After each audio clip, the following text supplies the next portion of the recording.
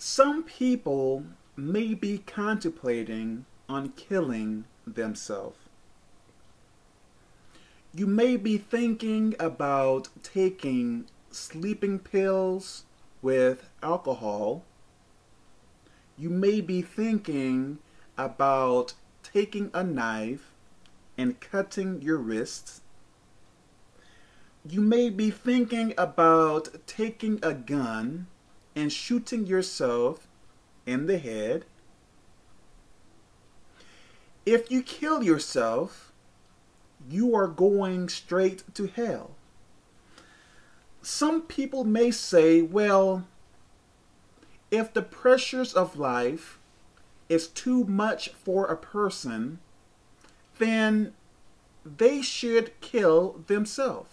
Listen, if you kill yourself, you are going straight to hell. You may say that you don't care, but you do care. Because obviously you believe that by killing yourself, that the pain is going to end. Listen. Whether you are on earth or in hell, you are going to suffer some way. But, so you can't stop the suffering, whether you are on earth or in hell. But you are going to suffer much more in hell. If you have a broken arm, why would you ask someone to break both of your legs? If you have a broken arm, why ask for two broken legs? Why suffer more than what you have to? Whether you are on earth or in hell, you are going to suffer. Why not suffer the least? When you are on earth, you are going to suffer the least. If you go to hell, you are going to suffer the most.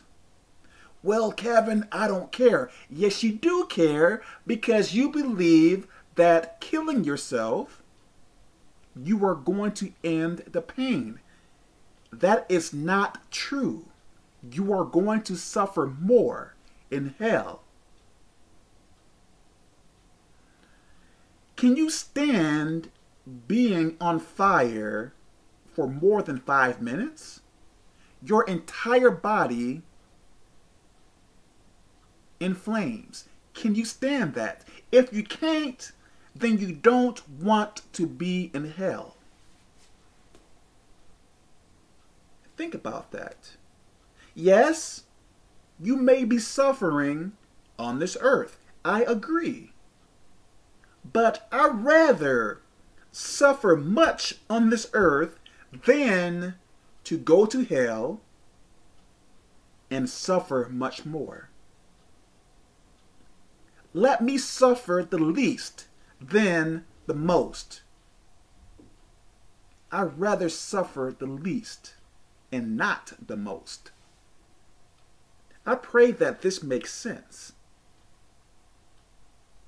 You may believe when you die that there is no afterlife.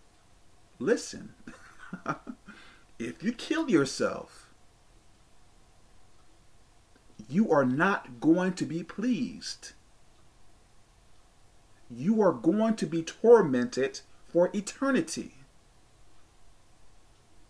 So take the pain while you are on this earth. It is much better. Think about that. God bless you.